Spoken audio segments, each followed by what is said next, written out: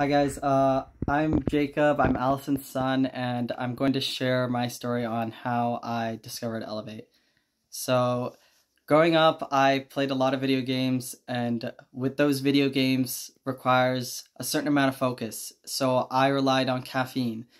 And so I went to coffee, and then that resorted to something even worse, which was Red Bull and then other energy drinks. And with those energy drinks, uh, I became addicted and I was taking either like one or two Red Bulls like a day almost and it was really bad and then um, I, I soon realized like one day it was like with my heart or something I I felt something and I don't know what it was but um, it was bad and I was like oh I should probably stop this. So I stopped I stopped drinking Red Bulls and then I, I stopped with the coffee and then one day my mom comes home she's like Jake try this product I'm I'm open to new things, and it was like this was another like sort of caffeinated product. So I was like, okay, sure.